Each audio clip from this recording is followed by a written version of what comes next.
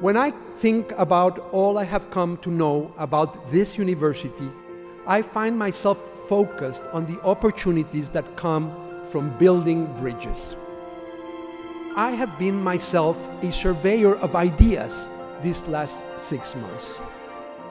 I have learned that for a young university, we are immensely proud of our roots and our humble beginnings.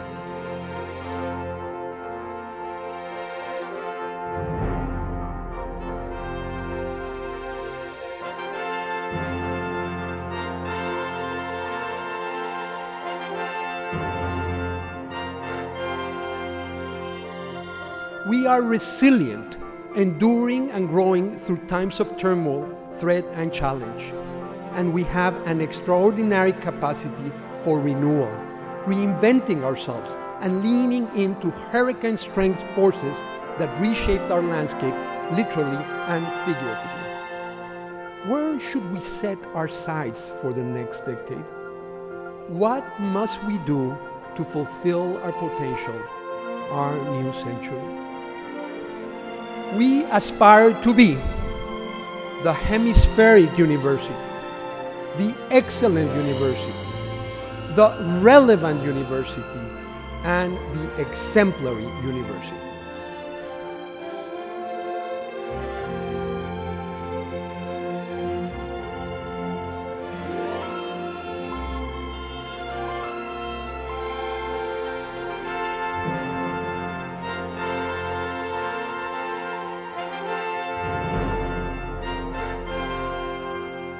The University of Miami can be a beacon of resilience, demonstrating that knowledge is the best instrument for facing adversity and that school spirit is a form of strength.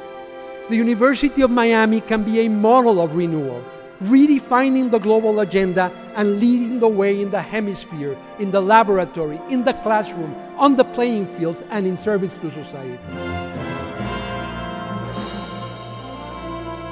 With resilience and renewal, we can weather the winds of change buffeting higher education and the world at large and emerge smarter and stronger. With resilience and renewal, we can be looked to as a leader and we can shape our destiny. With resilience and renewal, the University of Miami can, like the ibis, take flight and soar.